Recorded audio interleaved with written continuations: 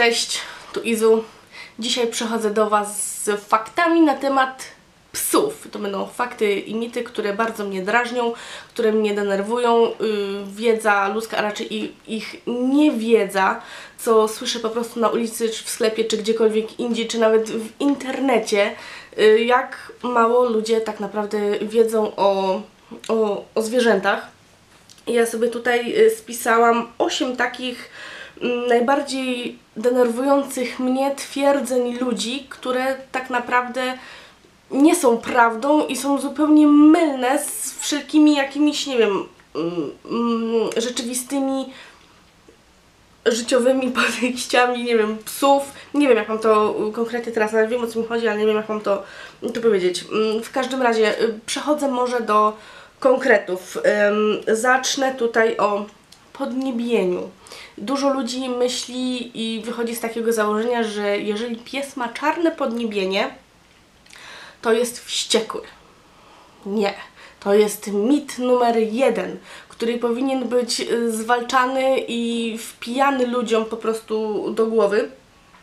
Jakie umaszczenie ma pies, czy czarne, czy białe, też nie ma żadnego znaczenia. W, większości ludzie się kierują tym, po prostu czy piesek jest ładny, cudowny i milusi, a jak zobaczą czarny podniebienie, oho, on będzie wściekły. Nie, to jest totalna nieprawda. Nie ma to żadnego kompletnie znaczenia na charakter psa, jakie on ma podniebienie, czy ma czarne, czy ma różowe, wszystko u psa leży w głowie, tak samo jak u człowieka. I kwestia tego, czy on będzie wściekły, czy on będzie łagodny, to jest tylko i wyłącznie nasze wychowanie tego zwierzaka. Dobra, kolejne mam pływanie. Ostatnio na internecie y, oglądając piesologię y, pod filmikiem Nauka Pływania czytałam komentarze i bardzo dużo komentarzy tam wyczytałam takich, które po prostu ja dostawałam piany z pyska, że po co uczyć psa pływać, przecież pies umie pływać od urodzenia, nie trzeba go uczyć. Nie, to też jest kolejny mit, kolejny wzięty nie wiadomo skąd, że pies umie pływać od szczeniaka. Nie, nie każdy pies umie pływać od szczeniaka. Trzeba psa e, nauczyć tego kontaktu z wodą, trzeba mu pokazać. To również jest dla niego coś nowego. Tak samo jak człowiek. Nie każdy człowiek od urodzenia umie pływać. Bardzo dużo ludzi jest takich, którzy w ogóle nie umieją pływać albo się tej wody boją i wchodzą do wody powiedzmy, nie wiem, do kolan, bo dalej myślą, że się utopią. Pies może mieć również to samo. Pies ma także lęki, może mm, bać się tej wody, bać się wejść w ogóle do tej wody, czy nawet podejść do rzeczki i się napić tej wody. Także to jest kolejny mit, który trzeba obalać. Pies nie umie pływać od urodzenia. Psa trzeba tego nauczyć, zachęcić go do y, kontaktu z wodą. Następny mam tutaj zapisany listonosz.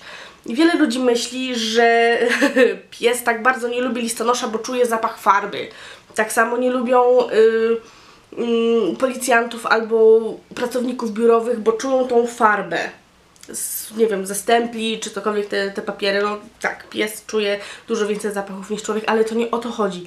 Pies szczeka na listonosza, bo jemu się wydaje. Mm, ja wam to wytłumaczę może w taki mm, najbardziej prosty sposób, który mi się przynajmniej wydaje, że jest prosty. Pies widzi listonosza. Listonosz podchodzi do bramki, zostawia list i odchodzi. W tym czasie pies szczeka. I co sobie ten pies myśli? Aha, przychodzi złoczyńca, przychodzi ktoś obcy, coś tam sobie robi, ja na niego szczekam, szczekam, szczekam i on odchodzi. I co sobie pies wtedy myśli? Pies sobie wtedy myśli, oho, to działa, czyli ja muszę na niego szczekać. Muszę mu pokazać, że to ja tu rządzę. Im dalej, im bardziej będę szczekał, tym większy sukces tego, że ja go przegonię. Także to nie jest kwestia tego, czy pies czuje farbę, czy nie. Pies sobie po prostu myśli, że to działa. Ja szczekam, on odchodzi, zagrożenie mija. I to jest w zasadzie tylko tyle. Yy, następna sprawa to są kolory. Dużo osób myśli, że pies widzi na czarno-biało. Psy ym, o, widzą, ym, widzą psy kolory. Psy widzą kolory, ale one nie widzą tych kolorów tak w pełni jak my. Oni, psy mają inne zmysły, tak jak wech i słuch, które są dużo mocniejsze niż powiedzmy u nas y, dużą rolę, rolę grają oczy. Pies widzi kolory stonowane. Może być tak, kurde, no nie wiem jak mam to porównać. To nie jest daltonista, tylko widzi w pastelowych, w pastelach. O, tak powiem. Widzi nas pastelowo, ale kolory widzi. Następne to jest mm, zdrowie psa. Dużo ludzi myśli sobie, że a, pies to pies, pies przy budzie, pies do łańcucha i to wszystko ma przeżyć na tym łańcuchu całe swoje życie, podczas kiedy nigdy nie widział weterynarza i nigdy u tego weterynarza nie będzie. Tak, psy też chorują i to nie wystarczy iść z pieskiem do weterynarza, żeby go zaszczepił mm, na wściekliznę czy na jakieś tam choroby, dał tabletki na odobaczenie, zmierzył temperaturę, zbadał go, zważył i obciął pazurki, czy tam też wyczyścił uszy. Nie, to nie jest wszystko. Psa trzeba odrobaczać co najmniej raz na trzy miesiące, zwłaszcza takiego psa, który sobie biega, nie wiem, nie, nie powiem tutaj samopas, ale taki, który chodzi po podwórku z nami na spacery. Pies chodzi, wącha, może przynieść różnego rodzaju pasożyty w sobie, które później roznosi nam nieświadomie po domu. Także trzeba odrobaczać te nasze zwierzaki.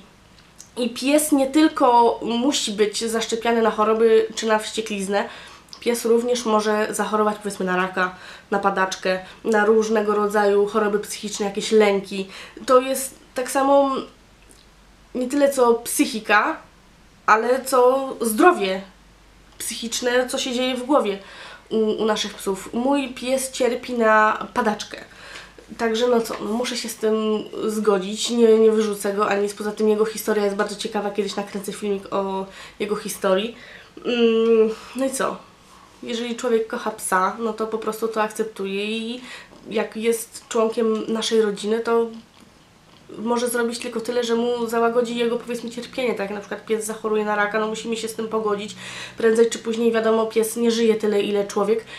Pozwólmy mu przeżyć życie godnie. Pies inaczej nas odbiera. Pies nas odbiera tak, o pancia, pancia, pancia, pancia, ja mam mało czasu, ja muszę się cieszyć. Ja jak ty idziesz, to ja się boję, panciu, gdzie jesteś moja kochana? Przyjdź do mnie, ja za tobą bardzo tęsknię, cię bardzo kocham. Ale o tym właśnie, jak pies się zachowuje y, podczas naszej nieobecności, postaram się Wam nakręcić kiedy indziej. Także to jest już inna bajka. Następne to jest o szczeniaki. To jest już w ogóle masakra. Suka nie ma w głowie zakodowanego czegoś takiego jak człowiek, że musi mieć szczeniaki chociaż raz, dopiero później ją sterylizujemy. Nie. Pies, suka, nie ma czegoś takiego. Nie, nie ma instynktu w sensie mm, rodzicielskiego, że o, człowiek sobie pomyśli tak, mam dziecko, chcę wychować jeszcze jedno, to kobieta zachodzi w ciąży i wychowuje to dziecko. Nie. Piesek nie ma czegoś takiego. Także jeżeli chce, nie chcemy szczeniaków, które się błąkają, później nie mamy co z nimi robić. Ludzie nie wiem, czy jeszcze topią zwierzęta w ogóle. 10 lat temu jeszcze to było takie całkowicie normalne, teraz to już odchodzi. Mam nadzieję, że całkiem to odejdzie od ludzkiej świadomości. Mm, Mam nadzieję, że ludzie zaczną myśleć pod tym względem, że nie będą bezmyślnie rozmnażać zwierząt. Jeżeli chcę mieć jednego pieska, idę w odpowiednim momencie do kastracji czy do sterylizacji, mam święty spokój i nie muszę się przyjmować niechcianymi szczeniakami. Co później ludzie mają robić z tymi szczeniakami? No, albo topią, albo nie wiem. Tyle się widzi w internecie czy, czy w telewizji takich rzeczy, jak na przykład no, chowają psa żywcem albo wieszają no to to jest normalnie, to jest masakra moim zdaniem. Trzeba sobie wpić w głowę, pies nie ma instynktu macierzyńskiego takich jak człowiek. Nie musi mieć szczeniaków chociaż raz, żeby później został wysterylizowany. Chodzi tutaj o sukę. No. Ach, już się zdenerwowałam. O, następna głupota, z którą się niedawno spotkałam, że hmm, pies, przecież pies się nie starzeje, nie? Pies jest wiecznie młody, jest wiecznym szczeniakiem i jak dorośnie, to co, pies urósł? Jak to jest możliwe? Dostałam małą, puchatą kulkę, a nagle za rok wy, wyrośnie z tego olbrzym. Przecież ja nie chcę olbrzyma, ja chcę szczeniaczka. To też trzeba sobie wpoić w głowę, a zwłaszcza tutaj chciałabym przestrzec mm, wszystkich y, ludzi, którzy chcą zrobić komuś nie, niechciany prezent albo nieprzemyślany prezent, co jest w ogóle tragedią nie tylko, mi się wydaje, no, dla psa, ale i człowiek powinien sobie przeżyć, no to jednak powinna być odpowiedzialna decyzja. Albo ktoś chce tego psa i się opiekuje nim do końca życia, do jego ostatnich dni, nie, nie patrząc na to, że on póki jest mały jest fajny, jak dorośnie jest już za duży, ja go nie chcę. Nie, to powinno wyglądać tak, decyduję się na psa, mam go od szczeniaka, chociaż niekoniecznie, jest tyle psów w schroniskach, które czekają na ludzką miłość, że to jest po prostu aż temat rzeka. Pies to nie jest zabawka i trzeba o tym pamiętać. Jak się decydujemy na psa, bądźmy z nim do końca. A nie tylko wtedy, jak jest mały, puchaty słodziutki i kochaniutki. No i ko- znowu się zdenerwowałam. Dobra, i przechodzę tutaj do ostatniej rzeczy. Twierdzenie, że im pies jest starszy, tym trudniej go nauczyć, bądź nie nauczy się już niczego. To też jest błędne myślenie. Pies nie tylko uczy się do pierwszego czy do drugiego roku życia. Pies, tak jak człowiek, uczy się całe życie.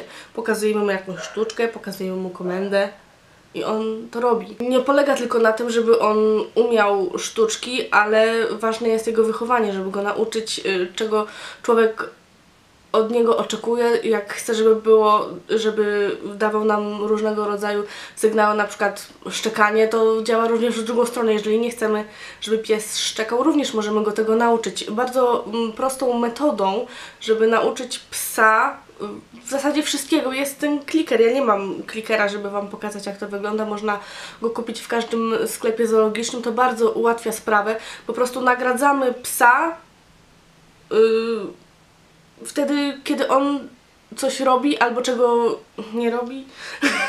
wtedy, jeżeli chcemy, żeby coś zrobił, powiedzmy siad. Pokazujemy mu, mu siad. On usiądzie, klik, nagroda. Tak samo jak nie chcemy, żeby powiedzmy szczekał. Mówimy mu spokój w momencie, kiedy on nie szczeka. Klikamy nagroda. Jeżeli chcemy, żeby szczekał, mówimy daj głos, szczeka, klik, nagroda. Jest to bardzo proste.